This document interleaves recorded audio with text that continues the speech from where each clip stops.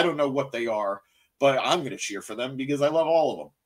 But afterwards, as they're celebrating their win very briefly in the ring, they are surrounded by even more CMLL stars. We have Mistico, Star Jr., and uh, uh, at least one or two other luchadors who I, I couldn't name. I apologize.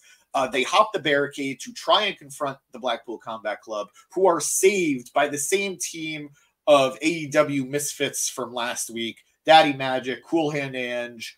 Uh, I I didn't see who the other two were. I, am sorry. Uh, Christopher Daniels and again, I there was one Matt Sydal. I'm going to go out on a limb and say, not exactly the cavalry I'd be looking for, but sometimes you just need the numbers. And where was Wheeler Yuta? I mentioned him before. Where was Wheeler Yuta during this bit?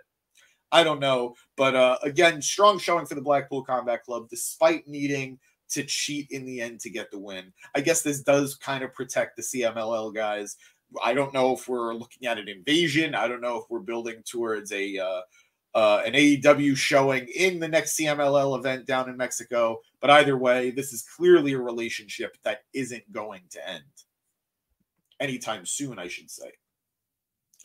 Uh, we then go backstage again.